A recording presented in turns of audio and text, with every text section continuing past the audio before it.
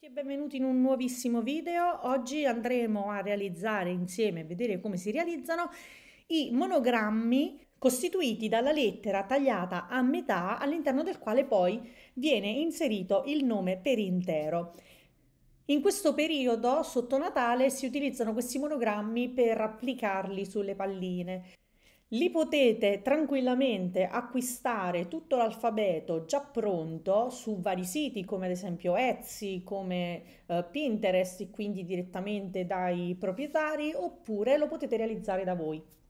Qualcuno mi ha chiesto come si fanno perché vorrebbero realizzarli a proprio gusto e quindi vi faccio vedere come si fanno e state tranquilli perché è facilissimo. Avete bisogno di un programma di grafica ovviamente io utilizzerò Photoshop, ma il principio è identico, quindi non vi state a preoccupare con il font che preferite per la lettera iniziale, quella più grande, e poi abbiamo bisogno di uno o più set di elementi in silhouette, non in silhouette studio, in silhouette vuol dire con la figura tutta in un colore, che io sono andata ad acquistare su Etsy. Io ho preso due pacchetti, questo di Bcrafty UK e questo di HQ Digital Art. Le silhouette sono fatte in questo modo qui. Come potete vedere costano veramente pochissimo, io le ho pagate 2,07 euro, sono in offerta perché normalmente costano 3,86 euro, quindi se le comprate in questo periodo avete il 50% di sconto. L'altro set L'ho pagato 2,57 euro, anche questo costava 3,58 euro e c'è un 30% di sconto. Ragazzi, queste sono risorse che acquistate e poi le usate nel tempo, quindi non sono mai soldi buttati perché rimangono vostre e ci potete fare qualunque cosa. Quello che andiamo a fare oggi lo possiamo fare per quanto riguarda il tema natalizio, ma ovviamente lo possiamo fare anche per quanto riguarda qualunque tipo di ricorrenza. Può essere la festa della mamma, lo possiamo fare per San Valentino, lo possiamo fare per la festa del papà, lo possiamo fare per qualunque ricorrenza, un compleanno qualunque. Li possiamo fare a tema, ad esempio per rivestire una busta o creare un monogramma per un matrimonio. Possiamo divertirci a farli come più ci piace. Ma dobbiamo vedere come si realizzano. È molto semplice, andiamo a prendere un font. Io nel mio caso ho preso Atelas, lo vedete scritto qui sopra? Ok, non volevo un font troppo complesso perché già poi con l'aggiunta degli elementi diventerebbe troppo, quindi un too much di cui non abbiamo bisogno. Allora scegliete un font abbastanza lineare, ma soprattutto un font tipografico serif. Serif sono quei font che hanno, vedete, questi segmenti d'appoggio ok? Tutte le lettere fatte così si chiamano serif. Il sans serif, per farvi vedere la differenza, è questo. Eccolo qua. Questo è un carattere tipografico sans serif, senza serif, quindi senza questi segmenti che si trovano sull'altro tipo. Ma torniamo alla nostra lettera. Andiamo a lavorare in bianco e nero.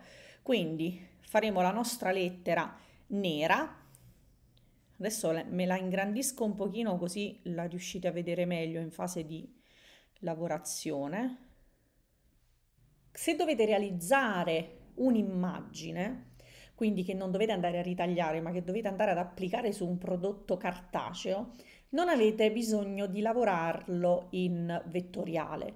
Se invece volete utilizzare questo tipo di monogrammi per essere ritagliati e poi applicati su delle superfici, ne necessitate di lavorarlo in vettoriale perché poi dovete salvarlo in SVG per poterlo caricare sui vari plotter. Nel mio caso, che devo solo farvelo vedere, userò Photoshop, ma vi faccio vedere poi alla fine anche com'è possibile lavorarlo in Photoshop se vi sembra più facile e poi andare a ricavare l'SVG da quello che abbiamo preparato sul programma raster. Voi utilizzate il programma che volete, quello con cui riuscite a lavorare meglio, quello con i quali siete più abituati, perché tanto il principio è lo stesso, non cambia nulla. Allora, dicevamo, scriviamo la nostra lettera. l'abbiamo scritta quindi è ancora uno strumento di testo, la vado a convertire in oggetto avanzato, di modo che non è più un testo, tanto è vero che se ci clicco su non potrò più modificare la scritta, e poi mi vado a rasterizzare il livello.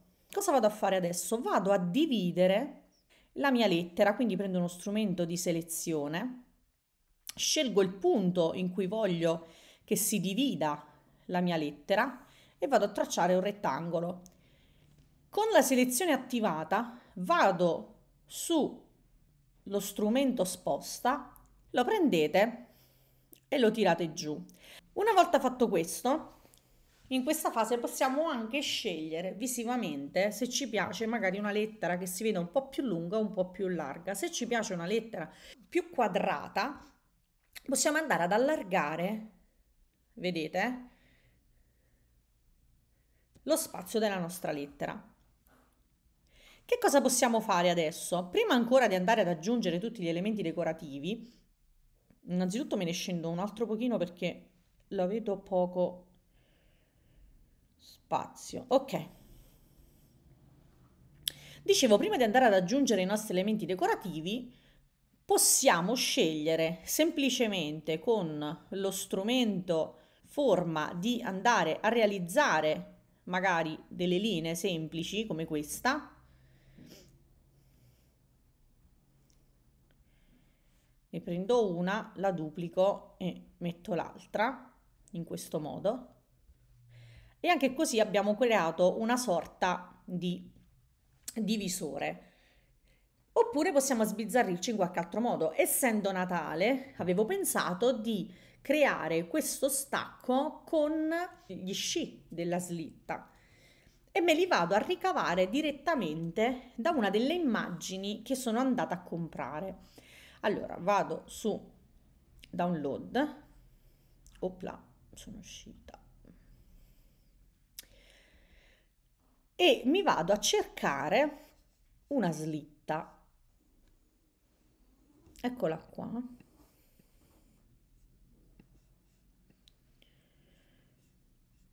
Ovviamente possiamo fare la stessa cosa con lo strumento penna, andiamo e ci realizziamo la curva senza problemi.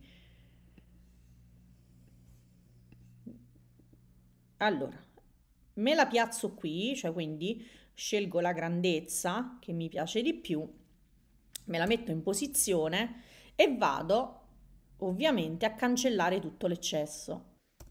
Questo ricetto in più che c'è mi piace e lo lascio qui, prendo di nuovo, duplica livello, ok, vado su sposta, clicco in un angolo e qui in alto vado su gli angoli e mi segno 180 di modo che mi ribalta l'immagine di 180 gradi e me la vado ad applicare in basso.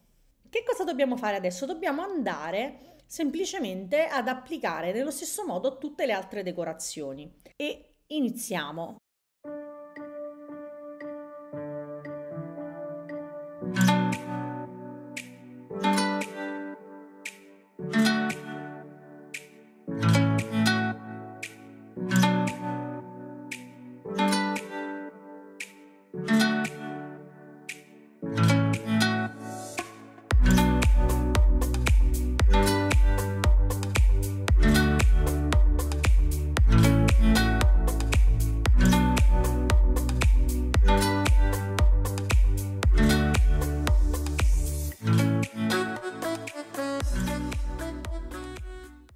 Ed eccoci qua, una volta inserite tutte le nostre decorazioni vi consiglio di non inserirne troppe perché sennò diventa veramente um, un caos, non si, non, non, risalta niente, quando c'è troppo non risalta niente, meno c'è e più eh, prende importanza quel poco che abbiamo inserito.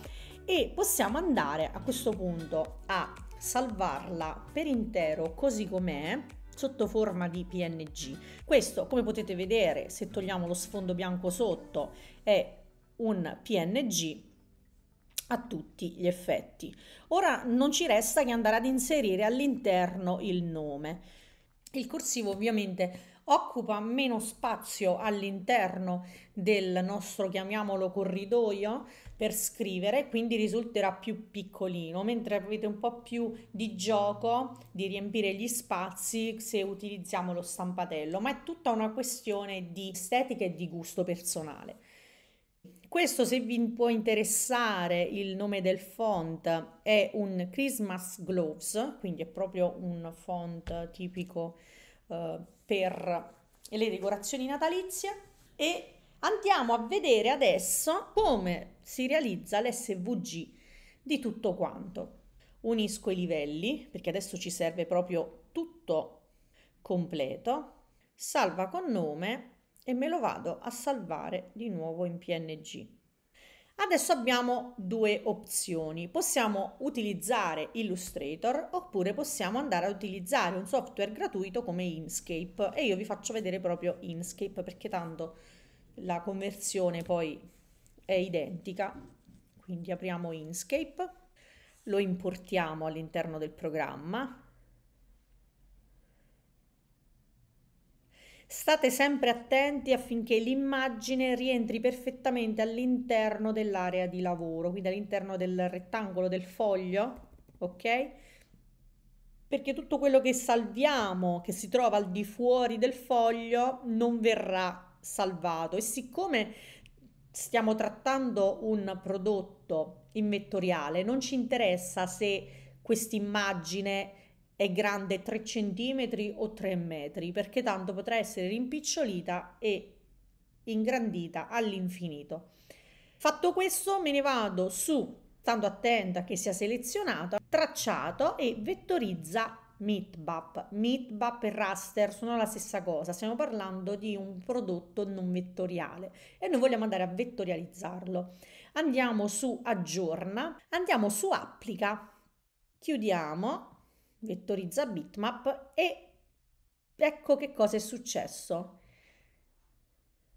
Ve l'esposto e adesso vi faccio vedere ingrandendo che cosa siamo andati a realizzare. Come potete vedere qui ho uno zoom molto alto e riuscite a vedere delle linee perfettamente pulite, mentre nel prodotto sotto, nell'oggetto sotto, che è l'oggetto bitmap che siamo andati a vettorializzare, riuscite ad intravedere i pixel.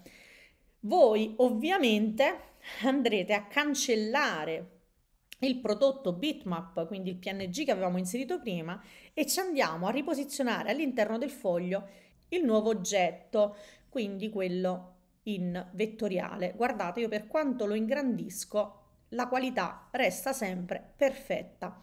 E questo è il risultato che vogliamo avere noi. Ma perché facciamo tutto questo passaggio? Perché adesso lo andiamo a salvare, quindi salva come SVG. Scriviamo monogramma, Natale, anche qui o monogramma M, chiamatelo come vi pare, e premete su salva. Chiudiamo Inkscape ed ecco che qui abbiamo il nostro prodotto in SVG. Eccolo qui, con qualunque programma volete andare ad aprirlo, vettoriale, vi si aprirà il progetto. Significa che una volta ottenuto l'SVG, voi lo caricate sul plotter, il plotter lo riconoscerà e potrete andare ad effettuare i vostri tagli. E potrete quindi andare ad applicarlo sulle vostre palline.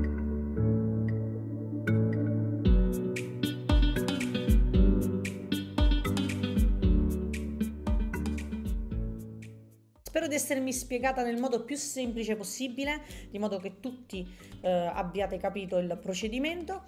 Fatemi sapere se ci riuscite, se avete qualche difficoltà, qualche problema, scrivetemi. E se realizzate qualcosa, se mi taggate mi può fare solo che piacere. Per il resto vi mando un bacio e un abbraccio come sempre e alla prossima. Ciao!